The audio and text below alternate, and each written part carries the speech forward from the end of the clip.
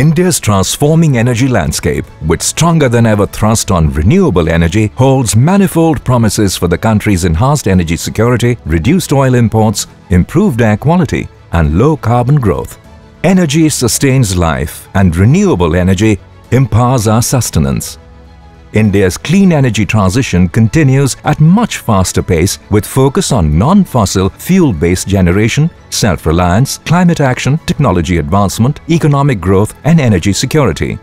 At present, India's installed renewable energy capacity has crossed 100 gigawatt, excluding large hydro, showcasing remarkable response to India's commitment to deploy 450 gigawatt renewable energy by 2030.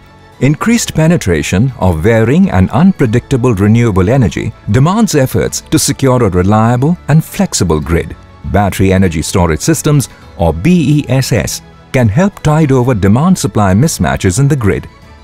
BESS is the key to unlocking the true potential of renewable energy. However, lack of a regulatory framework for energy storage systems, high capital costs and limited ground-level experiences hold back utilities and regulators from investing in this technology.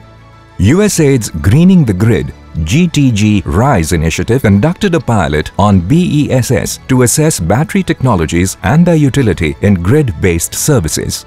Partnering with the Central Power Transmission Utility, PowerGrid GTG RISE assess the overall stacked values of BESS for providing services to the grid and local transmission. The go-live launch of the BESS pilot at PGCIL's facility in Puducherry was followed by the enablement of user cases for grid services.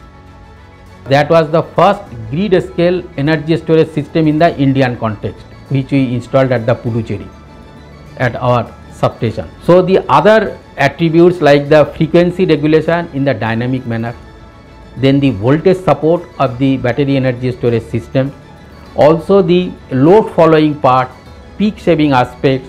So those are the additional applications which can be considered as an value added service of the battery energy storage system. So USA came forward, then we discussed, then we thought of okay since the technology is already in place grid scale energy storage system is already under operation.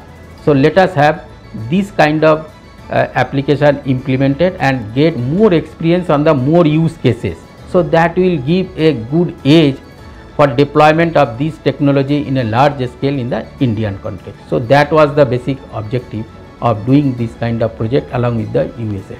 USAID also provided technical support to the BSES Rajdhani Power Limited BRPL Discom in New Delhi for deployment of BESS to manage distribution network congestion and reduce peak power purchase requirements. As the penetration of RE increases both at the utility scale as well as at distributed energy resource that is rooftop there is a need for balancing the power. Battery energy storage system being a versatile system can be placed at any node in the distribution network.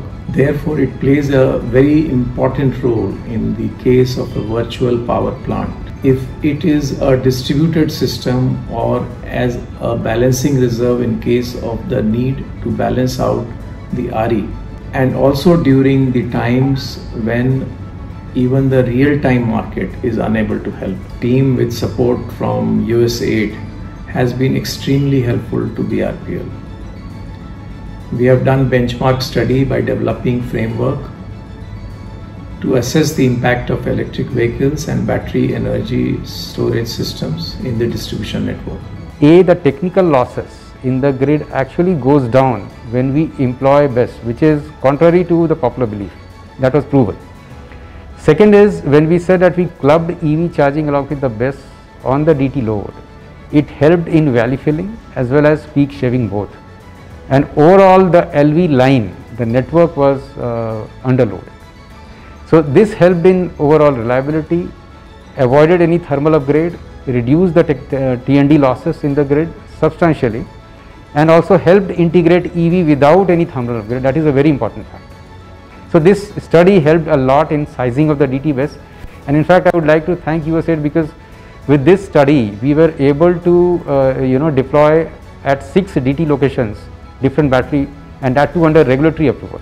There is a critical need for developing a regulatory and market framework around BESS. India's low carbon path to meet its growing energy need necessitates focus on energy storage to support deployment of variable renewable energy.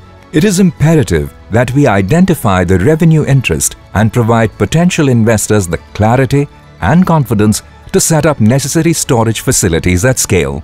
All these things are essentially required that battery energy storage system can be thought of as a transmission element, as a part of the grid. So, the regulatory framework also need to be developed, the policy advocacy is required so that the battery energy storage system can be made as a part of the grid element and the business case that how this will attract the investment into that so that when I am making the investment this will give a uh, recovery of my investment at the same time our energy transition pace will continue.